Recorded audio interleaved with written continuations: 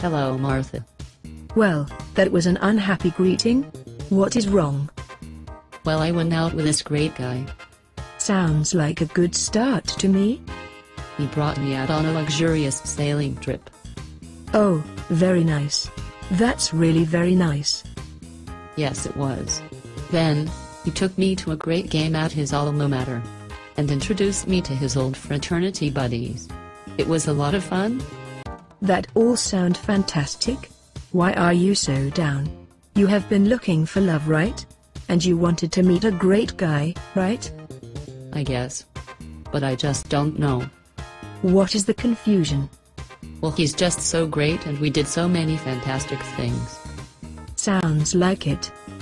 Well, what should I be thinking about him? Should I think this is all too fast?